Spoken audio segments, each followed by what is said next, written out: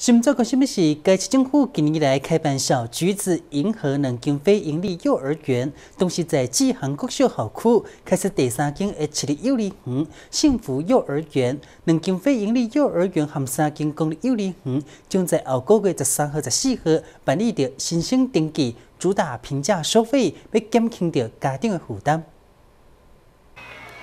考量到家长的需求，同时为着要来提供着更加完善的幼儿教育服务，建议市政府在最近这几档来积极来落实着各项的幼教政策，包括申奥设立小橘子幼儿园、银河幼儿园两间非营利的幼稚园，都是筹备伫咧一百零七学年度，在北兴高中开设第三间的非营利幼稚园。另外，在江义市原本的五福幼稚园，佮有福国幼稚园之外，今年年初嘉义市政府在几项各学校区。开办的第三间 H 的幼儿园幸福幼儿园，一百零七学年度大班、中班和小班一计招收九十个人，一百零八学年度佮会增加招收的幼幼班两班，总共三十二个人。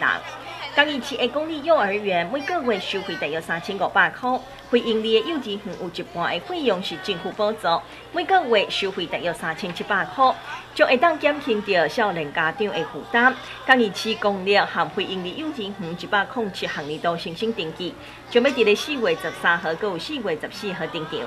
相关招生的消息，会当伫咧三月底进行，将嘉义市政府教育处特幼教育科网站上新的消息来查询。最新新闻，中国民王小三嘉义市采访报道。